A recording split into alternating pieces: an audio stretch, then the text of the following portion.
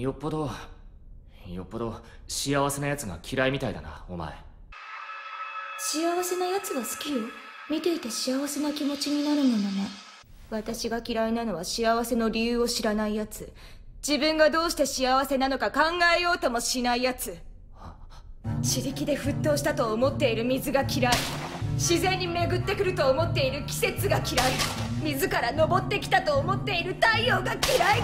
嫌い嫌い。嫌いだ。お前が嫌いだ。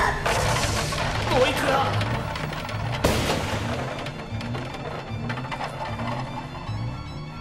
お前みたいな奴が幅を利かせているから私がいつまでも救われないんだ。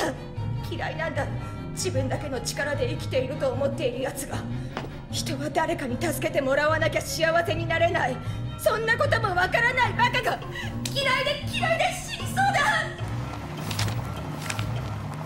そうだよな。人が一人で勝手に助かるだけなんてことはないよな。うん僕も常々思っているんだよ。一人で生きているつもりの恩知らずだけは許せないと。許せないのはお前だ荒木。お前以上の恩知らずなんていない。独りよがりなんだ。お前の正しさなんて。正しさ？それともお前は覚えているっていうの？中学1年生の時の下駄箱の中身を。ほらやっぱりお前は何も覚えていないのよ。荒らぎ自分が何でできているかを知らないの。おいくら？それはどういう意味？意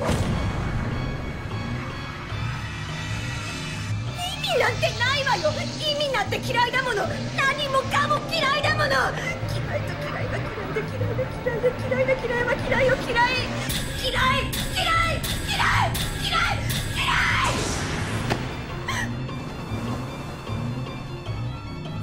だって言ったのに。